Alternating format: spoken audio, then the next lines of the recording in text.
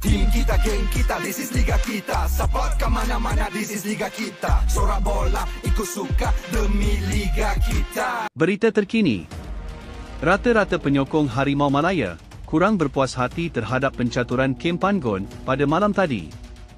Dan apa yang lebih menghairankan adalah keputusan Kem Panggon mengekalkan Dominic Tan dan mengeluarkan Arif Aiman Hanafi di separuh masa kedua perlawanan. Mengapa ianya terjadi?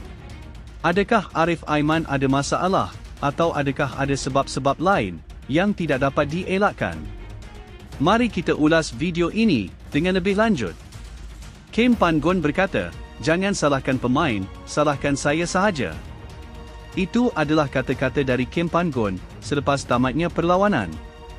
Mengulas Arif Aiman, ada penyokong yang berpendapat berkemungkinan Kim Pan-gon menyimpan beliau adalah disebabkan perlawanan yang bakal diharungi oleh Arif selepas berakhirnya tugasan bersama skuad negara. JDT akan menentang Perak pada malam esok dan seterusnya akan terbang ke Korea untuk perlawanan menentang Ulsan Hyundai pada 24 hari bulan ini.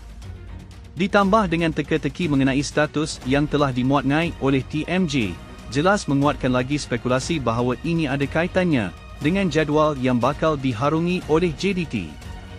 Di dalam Instastory TMJ, beliau berkata, Bila lagi yang ada-ada itu, nak merasa? Bagilah happy.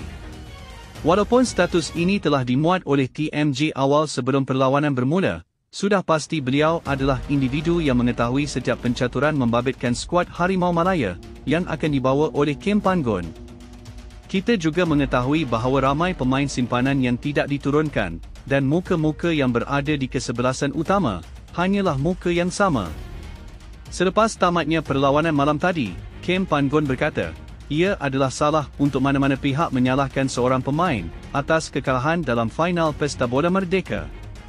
Sesiapa sahaja boleh melakukan kesilapan, tetapi apa yang kita perlu lakukan sekarang adalah untuk kita pelajari daripada kesilapan daripada terus mengkritik mereka. Jangan salahkan pemain kerana saya yang terlibat dalam kesemua hal termasuk tetapkan kesebelasan utama dan membuat pertukaran pemain. Jadi, jangan salahkan mereka, katanya dalam sidang media selepas perlawanan tersebut. Kekalahan kepada Tajikistan merupakan kekalahan paling memeritkan dalam karya Panggon sepanjang membimbing skuad Harimau Malaya.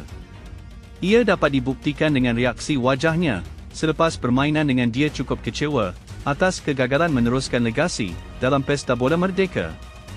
Kim Pan-gon juga berkata, mentaliti kemenangan adalah bukan dengan menang dalam setiap perlawanan, tetapi kita perlu sentiasa tenang dalam setiap tekanan yang diberikan.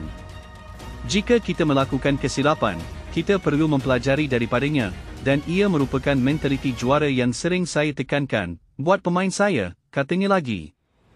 Semalam, ia satu peristiwa yang cukup memedihkan dialami skuad kebangsaan, apabila tewas kepada Tajikistan dengan keputusan 0-2 di tempat sendiri, ditambah dengan perlawanan akhir Pesta Bola Merdeka. Jaringan daripada Rustam Soirov dan Shahrum Samiev telah menyaksikan pasukan negara gagal membawa pulang trofi itu buat kali ke-13 dalam edisi ke-42 penganjurannya. Bagaimanapun, tumpuan utama sudah tentu diberikan kepada bek tengah negara, Dominic Tan, yang dikatakan terlalu mudah membuat kesilapan terutamanya ketika jaringan kedua yang dijaringkan pasukan Tajikistan. Berakhirlah ulasan kita untuk video kali ini. Jika anda semua suka dengan video ini, seperti biasa, bantu saya untuk smash butang like dan klik butang loceng di bawah.